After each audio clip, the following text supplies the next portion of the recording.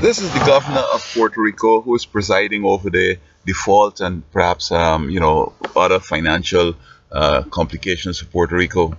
I recall before he was uh, the, the governor, uh, he was elected to one of the houses in Puerto Rico. I went to his office uh, after President Obama had visited and, you know, liaison with him and so on. I said, look, man, I think that you're going to be the next governor here.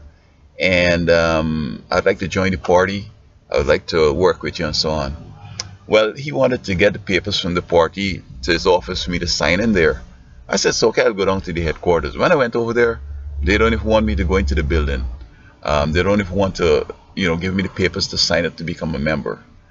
And um, I recall once I took an, some ideas in, and I signed it Dr. Morris at the bottom. So the lady asked me, who is this? I said, it's me.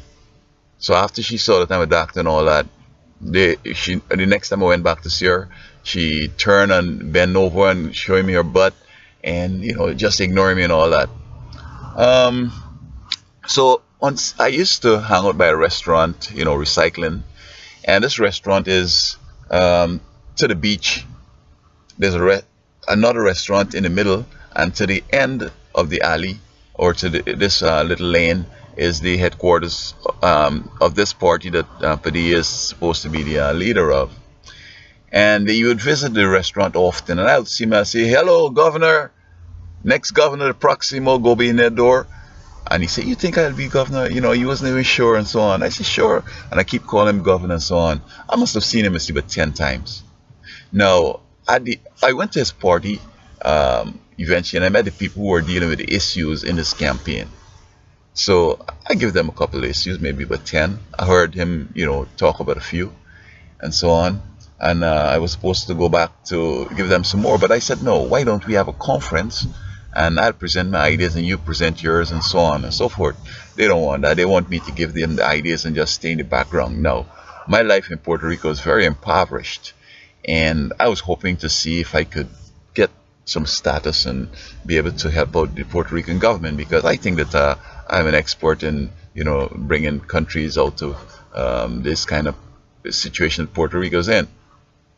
And as a matter of fact, I went over there to test an idea I had. I thought that being a small nation and in the Caribbean and and you know so on, we are both Caribbean people, etc. You might listen and so on. My plan was that um, we will ask the citizens to come up with some funds every month, probably contribute thirty to fifty dollars, and uh, this fund will be used to fix the environment, bridges, roads, uh, sewer, a whole bunch of other things. And um, we could have kicked it off there and then it could come to the mainland where other states now seeing it working in Puerto Rico might adopt it and, and the president might you know endorse it and then we go forward in uh, building the nation. This was just a major thing I went on there to try uh, as well as I want to study law over in Puerto Rico uh, it was very cheap but I didn't understand that it was so poor over there that you can't even raise um, the, the, the, fees to pay for school. I mean, it's half of what is in this mainland here, but oh Lord, there's no money over there. Okay, so um, in the, at his inauguration, I went over there to uh, to see him, and I congratulated him. I said, "Thank you, sir. You know, you did well. Great to be governor, and so on." I said, "But you know, I'd like to meet with you to discuss some ideas and so on." And this man almost vomited. I said, "Oh my God, I can't believe this." I mean, this guy knows me. I went to his office, we talked. Uh, I mean, I've called him governor so many times.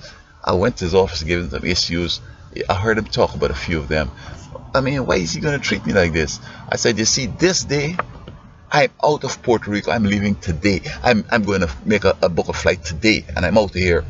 I did book my flight, and I left Puerto Rico. Um, Puerto Rico is in bad shape. Um, you, you see, the people who represent Puerto Rico in Washington generally tell the Puerto Ricans, look, man, I have the type of clout and status and privilege and so on that I could, you know, inter, uh, interact with the big shots in Washington, people that are that matter, and I will get more funds to come down to Puerto Rico so we could take care of business. And that's the person who uh, they will elect the one that they believe is going to get more money into Puerto Rico. Whereas I thought that Puerto Rico being uh, a United States territory and has access to the market, we could have you know, done business, get people to come in and invest and so forth, and get a, a quick run on the market, as opposed to you know producing overseas and have to go through tariffs and the other barriers to get into the market, and so many other ideas I had that I'm sure that could have put put put Puerto Rico in a better place, but um, you know Puerto Rico is strange. Um, you know they don't seem to appreciate black folks. You don't see black people in Puerto Rico um, holding important positions, visible positions. Um, and, and the funny thing with Puerto Rico and other Latin countries is that their their race or their type of people is a, is a mixture. In college in 1978, when I did Spanish for the first time, uh, we studied a book called uh, La Cultura de Mexico. And an important concept in this book was this La sangre de latino es un mezcla de uh, sangre de indio, de negro y europeo. In other words, uh, the Latin American person, his blood is a mixture of black, white, and native Indian. And they all ignore the black. They, they, they don't just like to know that they have black in them. I listened to a guy from Mexico. He was saying that we, you know, we Latinos, you know, we a mixture of native Indian and white people. And I waited to hear him say blacks because I know that. And and he used to, I used to call him king. He used to operate very arrogant and with a lot of charisma and, and ethos and all that. And I'm saying, after he ignored that, left out that important part, the black part, I said this guy is an idiot, and, and I just you know dismiss him as it were. And in Puerto Rico, um, if well, one guy told me, he said, listen, when our women pregnant, we we just not sure what type of child we can have, whether it's going to be black, it's going to look white, or it's going to look, you know, uh, Chino to call them like a native Indian person, or Chinese, or, you know, Asian type looking person.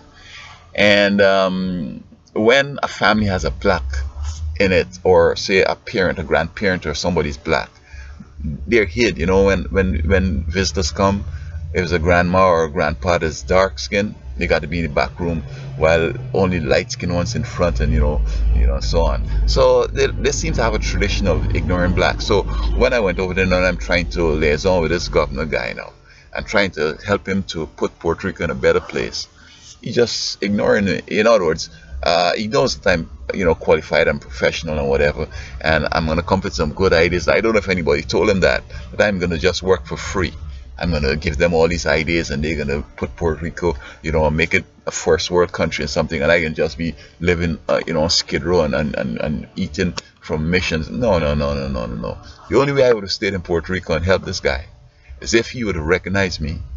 I got a position that I have some income that I could relax and I could take care of business. I could do what I want to do, and I have enough leisure to, you know, dream and, and, and work with bringing them up, you know, I mean, no, I'm not going to do that. So uh, I think that their financial problems don't have to be this severe, but it's just that they're not training themselves to um, run a business, as it were, like a like some of these states up here in America. Um, they just want to you know, get loans and America guarantee it and love money from America and spending money crazy.